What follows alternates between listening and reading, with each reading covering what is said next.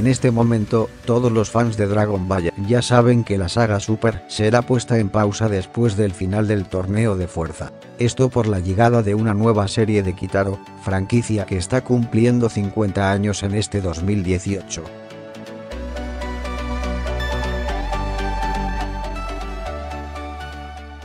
Si bien Toei y Fujitsu aseguraron que Dragon Ball no está siendo cancelada, solo se tomarán un tiempo con la misma, jamás se mencionó cuándo regresarían a la acción Goku y compañía.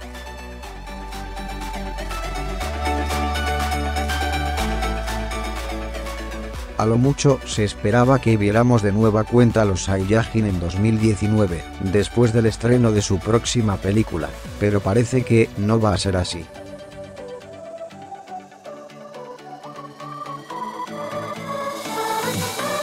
De acuerdo con varios fans, que ya se pusieron a hacer cálculos, la última vez que se emitió una serie de Kitaro duró 100 capítulos, debido a que esta nueva entrega festeja su mitad de siglo, se espera que tenga una duración similar, lo que daría como resultado una emisión de dos años.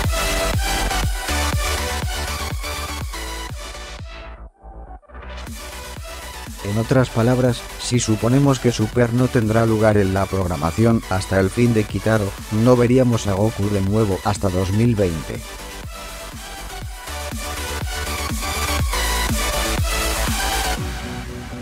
Ojo, esto es mera especulación de los seguidores, no hay nada confirmado por parte del canal de televisión donde se transmite Super o del estudio de animación.